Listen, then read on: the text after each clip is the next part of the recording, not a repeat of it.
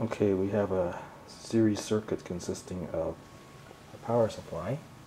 This is a variable DC power supply that supplies anywhere from 3 to 12 volts in 1.5 increments. So we have the negative terminal here on the right side. It's connected to a resistor. The other side of the resistor is connected to this meter, which is going to measure current in amps. And notice that it has to be connected in series.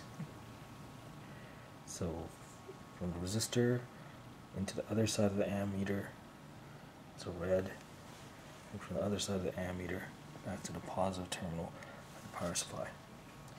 This meter here is going to measure voltage. Now notice from voltage, you simply connect either end of the leads to either end, either side of the resistor, the thing you're trying to take the voltage of. So voltmeters connected in parallel, very easy to do. Ammeter connected in series, not as easy to do as you have to put the ammeter into the path of the current. Okay, so that's the difference. Now I've got this connected to a power bar because this resistor is going to get rather hot.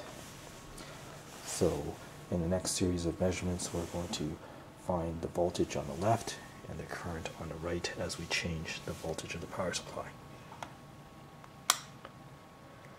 Okay, first reading 3.54 3.55 volts 0.34 amps.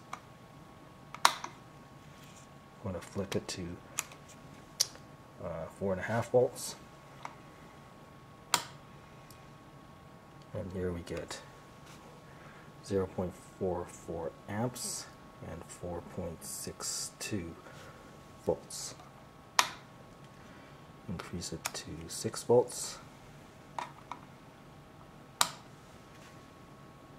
And now we're getting 5.37 volts and 0.62 amps. And I've just burnt out my resistor. end of the experiment.